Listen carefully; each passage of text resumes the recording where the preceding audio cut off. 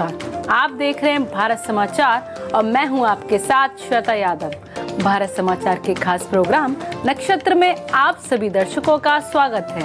नक्षत्र में हम आपको बताते हैं कुछ खास उपाय, जो आपके जीवन में प्रगति और उन्नति लाएँगे। उन्हीं उपायों को सही विधि विधान से बताने के लिए हमारे साथ स्टूडियो में मौजूद हैं आचार्य राजीव शुक्ला जी जो आज आपको बताएँगे, कैसा रहेगा आपका आज का दिन और क्या है वो खास उपाय जो आपको आगे बढ़ने में मदद करेंगे। भारत समाचार के सभी विज्ञ दर्शकों को आचार्य राजीव शुक्ला का प्रणाम।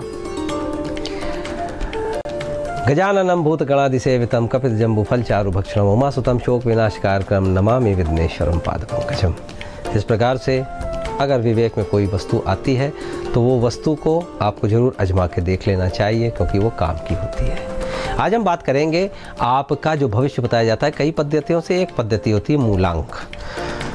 मूलांक पद्धति जो होती है, उसमें आपका जो डेट ऑफ़ बर्थ होता है, जैसे मान लीजिए, आज हम बात करते हैं मूलांक आठ वालों की तो मूलांक आठ वालों का आठ नंबर, शनिदेव का होता है, लेकिन मूलांक आठ कैसे बनता है? मान लीजिए 26 तारीख को आपका जन्म हुआ है, या 17 तारीख को, इस प्रकार से आप निकाल निकाल लें। इसके कुछ ज्योतिषीय उपाय हैं।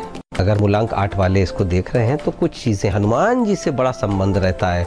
हनुमान जी का लॉकेट, पेंडेंट इत्यादि ज़रूर पहना करें। मूलांक आठ वाले, बहुत अच्छा इनको बल मिलेगा।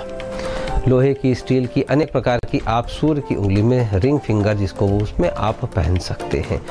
हरे और नीले रंग की पेन बहुत ही शुभ आपको रहेगी, अगर आप उसको रखते हैं तो। तो इस प्रकार से कई चीज़ें हैं, आप देख सकते हैं। दिन जैसे पाँच, चौदह, तेईस छः पंद्रह, यानी कि ये दिन दिवस उत्तम। वाहन नंबर की अगर हम बात करें तो इक्यावन लिखवा के ज़रूर रखें। मोबाइल नंबर छः से शुरू होकर अंत में छः या पाँच वाला अंक, ये भी अच्छा जा सकता है।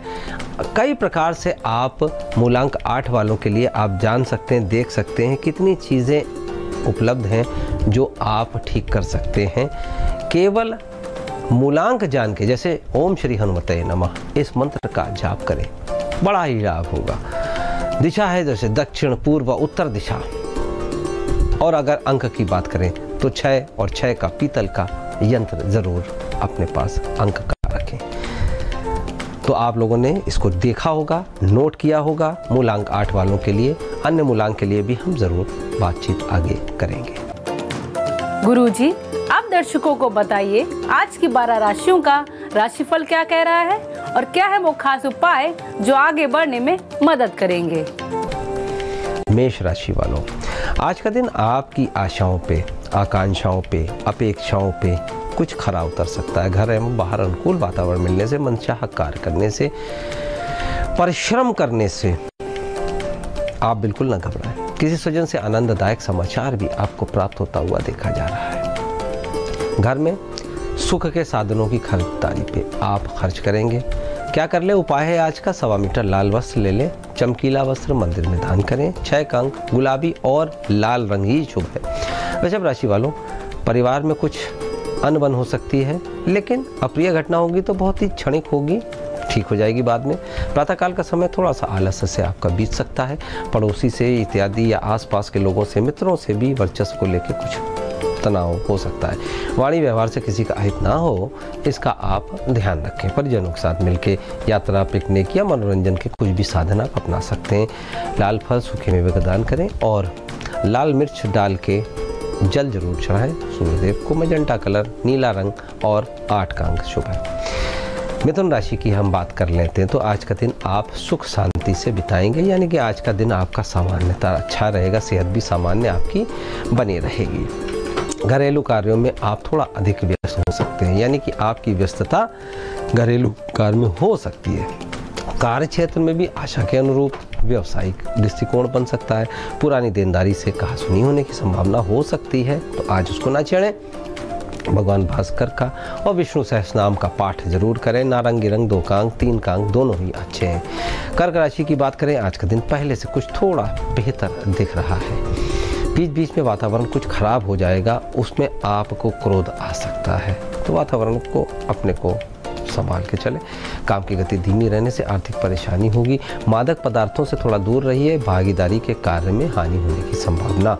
आपकी है लंबी यात्रा होने की संभावना है। आदित्य हृदय स्त्रोत्र का पाठ करें और श्री सूक्त का पाठ भी करें। गुलाबी रंग, सात का शुभ है। सिंह राशि वालों आपकी दिनचर्या थोड़ी सी आज अव्यवस्थित हो सकती है। कुछ ज़्यादा काम आप ले सकते हैं अपने। काम के समय भी दिमाग में थोड़ा विपरीत विचार लगे रहेंगे, उनसे दूर हो जाएँ। आज के दिन कुछ ना कुछ आपको कमी लगेगी, लेकिन वो दूर हो जाएगी। मित्र परिवार के साथ मनोरंजन इत्यादि शांति का अनुभव करेंगे। दुर्व्यसनों से दूर रहें मादक पदार्थों से दूर रहें। लाल फल का दूध का, सूखे मेवे का और अन्न का दान करें। गहरा गुलाबी एक कांग शुभ है। कन्या राशि वालों की बात करें। फिजूल की बातों पर मानसिक दबाव आप अनुभव करेंगे। घरेलू वातावरण पहले ही आपका कुछ आसान हो सकता है। तो थोड़ा सा समय एकांत में धन या उससे अधिक या अन्य विषयों पर बहस ना करें। पूर्व नियोजित आपकी अगर पर्यटन की योजना है तो बिगाड़ सकती है। घर के सदस्य की सेहत को लेकर थोड़ा चिंता आपको हो सकती है, गाय को गुड़ खिलाएँ, उससे भी खिलवाएँ, सही हो जाएगा, मेहंदी, एक काम, शुभ है। तुला राशि की बात करें तो आज का दिन आपका मिला जुला फल देने वाला है। मिक्स्ड रिज़ल्ट आपको मिलेंगे। आर्थिक रूप से मध्यान्ह तक का समय आपका वैसे ठीक रहता हुआ दिखाई देगा।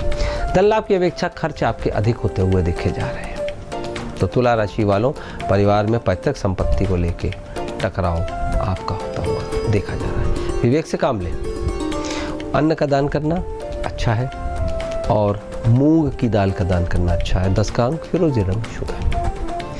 बात कर ले वृश्चिक राशि की। वृश्चिक राशि वालों, आज का दिन आपका सामान्य फलदायक रहने वाला है। कुछ विशेष कार्य नहीं करने पर भी दिन भर आपका कुछ आलस्य का भाव रहेगा। सेहत भी आपकी थोड़ी सी प्रतिकूल रहेगी।